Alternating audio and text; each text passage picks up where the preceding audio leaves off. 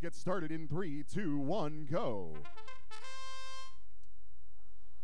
Red and Blue Alliance each going for neutral goals unopposed, but in the middle, that tall goal is pinned between 4393 and 2647X. It is pulled into red territory, I believe. The referees concur. Drivers take control in three, two, one, go. Red won that autonomous period, and they're going to keep on pulling. You got the main chance in the crowd. 2011 C. They've got three mobile goals. Yelling out their defensive strategy here. 90 seconds remaining. They're going to scoot through the middle of the field and just collect a whole mobile goal full of rings.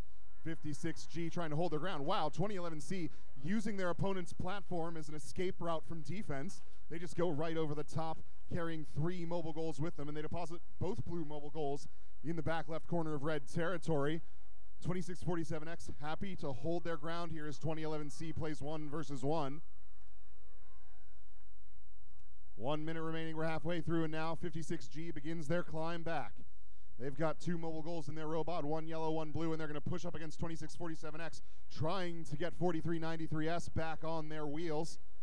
But 2011C moving them further away from safety, 45 seconds remaining. Both Red Alliance mobile goals just filling up with rings. They're using their human player, their human loads now. Because they're not under heavy defense, they have a gap they can use that for. 56G blocking off 2011C as they try to steal one more blue goal and now bring it back over to the blue end. 18 seconds remaining. Platforms are now protected. 2011C still trying to get that blue mobile goal out of blue territory despite their lead. 10 seconds remaining. 56G looking for an early elevation. Five seconds. Three, two, one. And that's quarterfinal three.